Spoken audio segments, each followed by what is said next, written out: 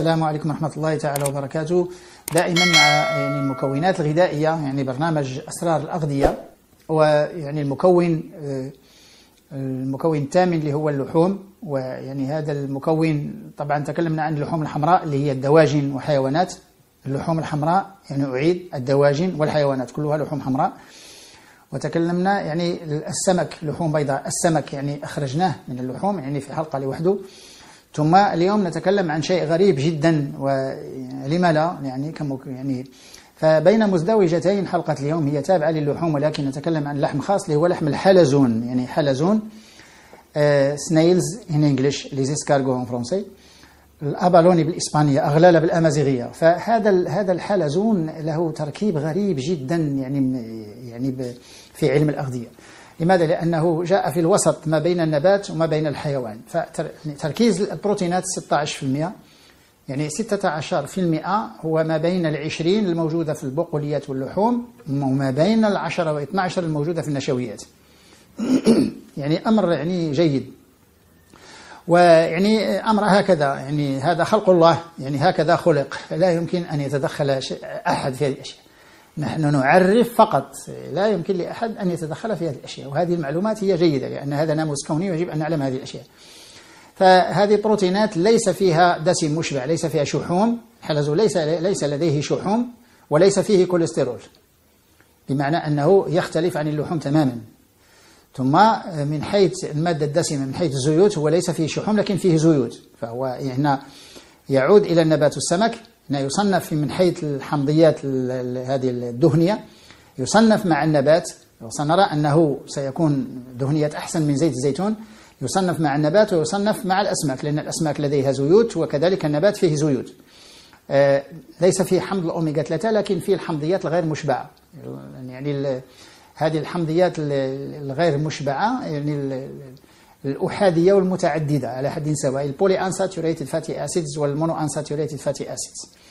ف يعني فيه ال polyunsaturated فيه يعني هذه الحمضيات الدهنية المتعددة. هي أكثر من الحمضيات الأحادية لأن الأحادية في زيت الزيتون الأوليك موجود في الزيتون. الحلزون هذا في المغرب يعني اللغة العامية في المغرب الببوش نسميه هكذا الببوش. فهذا يعني هذا الحلزون يعني هذه الحمضيات الدهنية في ال linoleic linolenic. لينوليك لينولينيك لأن فيها اثنين وثلاثة يعني هي متعددة هذا المشكل يعني ال polyunsaturated fatty acids ولا شيء في الطبيعة فيه ال polyunsaturated أكثر من ال monounsaturated يعني لا شيء في الطبيعة فيه اللينولينيك أكثر من الحمضيات الدهنية الأخرى. ولا شيء في الطبيعة الحمضيات الغير مشبعة تفوق الحمضيات المشبعة. لا يوجد في الطبيعة لا يوجد.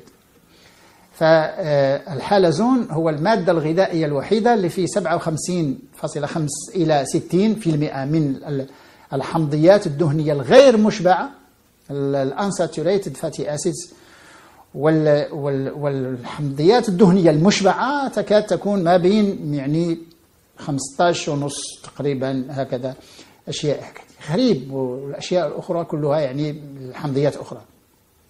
فيعني 57 حتى 60% من الحمضيات الغير مشبعة المتعددة ال polyunsaturated هذا شيء يعني مميز في الطبيعة. هذا شيء يعني هذه خاصية الحلزون. خاصية هذا سر الحلزون. يعني لا يوجد في, في المكونات الأخرى. ونحن نعلم أن هذه الحمضيات الدهنية الغير مشبعة آه، لمن الأحادية والمتعددة ولكن المتعددة تعتبر فيتامينات. المتعددة هي أقوى من الأحادية. ال polyunsaturated هي مهمة جدا في الجسم. يعني آه، هي ال polyunsaturated هذه أقوى من آه، تكاد تكون أقوى من من حمض الأوميغا 3 تضاهي حمض الأوميغا 3 فيعني هذه الحمضيات الدهنية والزيوت في هي حدود النبات الموجودة في يعني في الحلزون.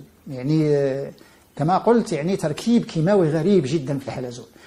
لما نصل إلى الفيتامينات نجد أن الفيتامين باء 12 والباء 2 الخاصين بالحيوانات لأن الباء 12 موجود في السمك كأول مصدر ثم السمك الكبير الحجم كأول مصدر ثم في بعض اللحوم والفيتامين باء 2 هذه يعني الريبوفلافين موجودة في الحليب في الألبان يعني اللبن المتخمر فيه أكثر من الحليب ولكن هي تكاد تكون الفيتامين الذي يميز الألبان.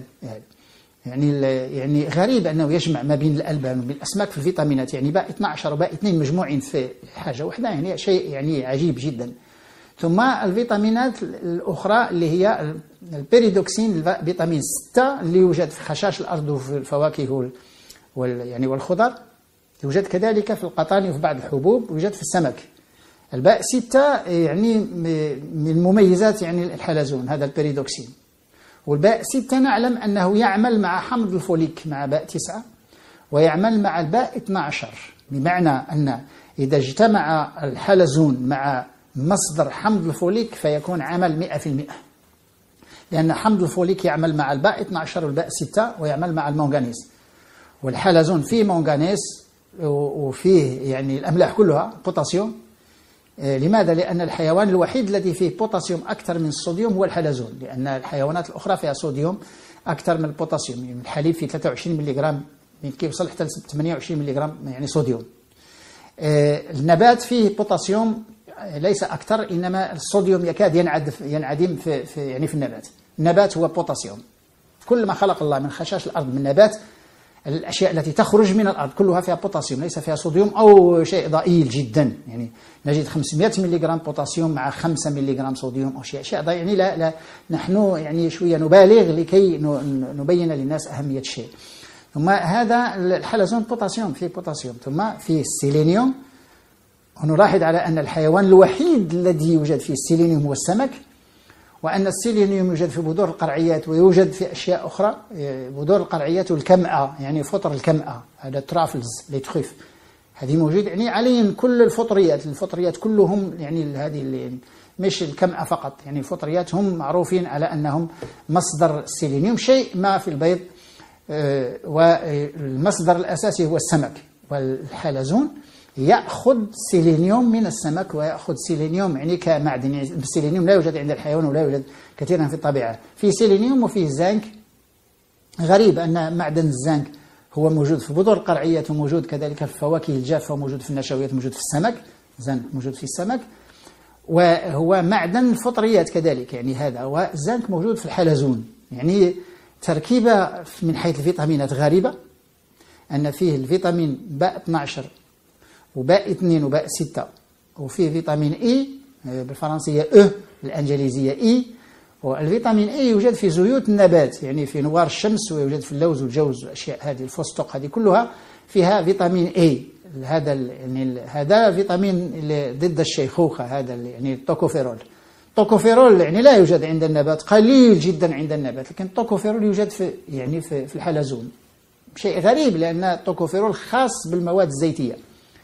المواد الغذائية الزيتية اللي فيها زيت فيها التوكوفيرول كل المواد التي فيها زيت فيها بما في ذلك بذور القرعيات كلها فيها يعني فيتامين اي وهذا عليه نوار الشمس ليس نوار الشمس فقط إنما كل يعني هذا الحبوب الزيتية كلها. والحلزون فيه فيتامين اي يعني الفيتامينات باء 12 باء 2 باء 6 فيتامين اي وفي من حيث يعني الأملاح المعدنية فيه يعني بوتاسيوم أكثر من الصوديوم يعني ليس فيه صوديوم تقريبا يكاد ينعدم. ثم فيه معدن النحاس ومعدن السيلينيوم ومعدن الزنك ثم الحديد والمعادن الأخرى. ولكن يبقى السيلينيوم والزنك يعني من النحاس كذلك يعني السيلينيوم والزنك هما المعادن اللي كتقو اللي يمتاز بها يعني هذا هذا الحلزون. فيعني كل يعني كل التركيبات الكيماوية غريبة جدا. كل التركيبات الكيميائية لا نجدها في يعني في الطبيعة. فهو يجمع تقريبا كل هذه الأشياء. الحمضيات الدهنيه الغير مشبعة. البروتينات 16% يعني هذه البروتينات يعني الحمضيات الأمينية كلها بما في ذلك اللايزين يعني اللايزين يعني ما بين النبات وما بين الحيوان. يعني ليس مرتفع في اللايزين ولكن ليس منخفض. ثم التريبتوفان كذلك بين الحيوان وبين النبات. يعني ليس يعني التريبتوفان مرتفع لكنه يعني متوسط. يعني أشياء يعني سبحان الله يعني أشياء يعني غريبة جدا. ثم من حيث الدهنيات يعني الحمضيات الدهنية الغير مشبعة أكثر من الحمضيات الدهنية المشبعة. ثم المتعددة الإشباع أكثر من الأحادية.